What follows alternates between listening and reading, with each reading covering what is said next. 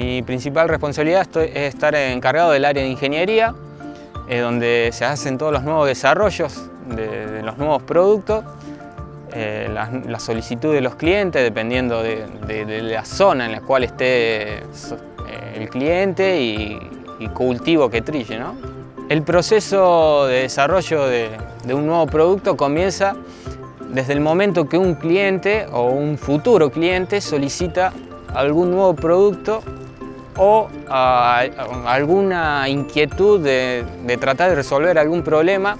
entonces se aboca de lleno el área de ingeniería para, poder eh, resolver esta necesidad del cliente. En base a esa, necesidad se, se, busca una solución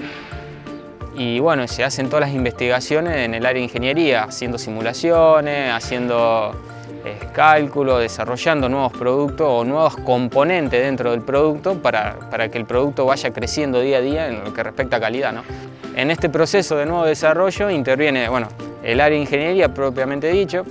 que somos tres que estamos eh, en la parte de desarrollo, y el cliente obviamente que es el que aporta y el que usa y prueba verdaderamente el producto. El valor diferencial que tiene Piersanti es el, bueno, obviamente una muy buena calidad del producto,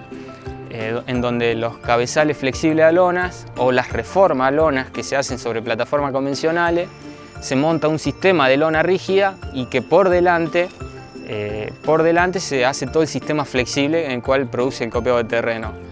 Eh, y el otro, otro gran punto que tiene Piercenti Plataformas es el servicio de postventa con los servicios mecánicos a campo, en donde se resuelven se, asiste al cliente.